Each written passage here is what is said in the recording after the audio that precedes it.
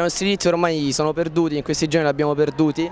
Eh, molti, molti alunni delle prime che stavano nella succursale del geometri li hanno tra virgolette sfrattati, eh, messi nel banzi, nell'aula dei professori, nei laboratori e nella palestra. Il terreno della palestra si sa che è tossico perché è pieno d'amianto e fare lezione là non penso che sia una cosa normale.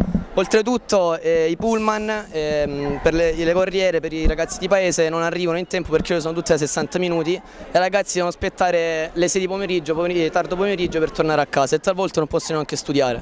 Quindi questo non pensiamo che sia una cosa ammissibile e quindi protestiamo per questo motivo. È inutile che vi state là, dobbiamo essere compatti qua dietro, forza!